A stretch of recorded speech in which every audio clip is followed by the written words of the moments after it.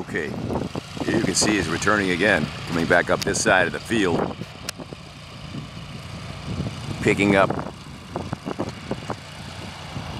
the, yeah, aha, he picks one up, maybe loads it up with bait, takes the other one off, pops off the crawfish inside, drops it, picks up the next one.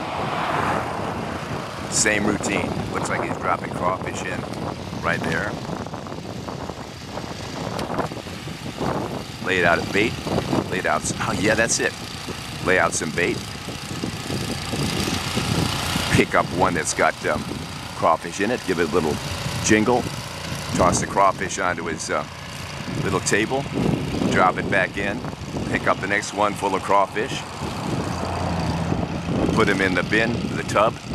Uh, and I believe what's inside already, uh, the bait is already inside the, uh, the trap so he doesn't have to replace the bait. This is really fascinating. All right, let's see what happens the next time around.